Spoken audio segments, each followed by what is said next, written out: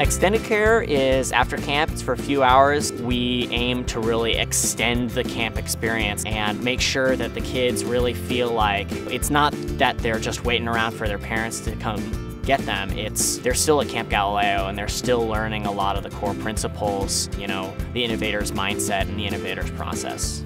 As the extended care coordinator, I'm in charge of prepping the hot lunch for all the campers. I decide all the activities that they do during recess, and then after camp, I get to decide all the activities that all the campers are going to be doing, some team building games, some sports, some project making, and it's kind of a choose your own adventure.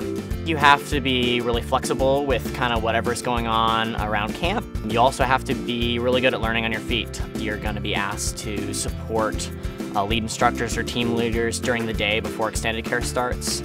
They also have some of the best ideas at camp uh, for how things should go, what activities we should do, uh, how you should structure your extended care program. So being really communicative with them is ideal. Galileo has absolutely helped me grow. Every year at Galileo, I learned something new. I've learned for myself how to be a visionary. What always brings me back to Galileo is the staff and knowing that I'm going to get to work with people that are energetic and excited to come to work every day.